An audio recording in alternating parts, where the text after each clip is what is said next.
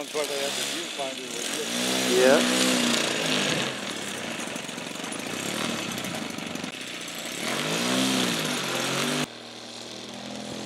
Okay, take it off.